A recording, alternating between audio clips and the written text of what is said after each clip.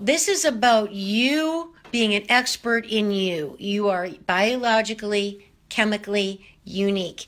And the better you understand yourself and what makes you tick and turns you on and makes you feel good and makes you look the way you want to look and have the life you want to have is all the power in your hands. That's your job in life is to have the best life possible.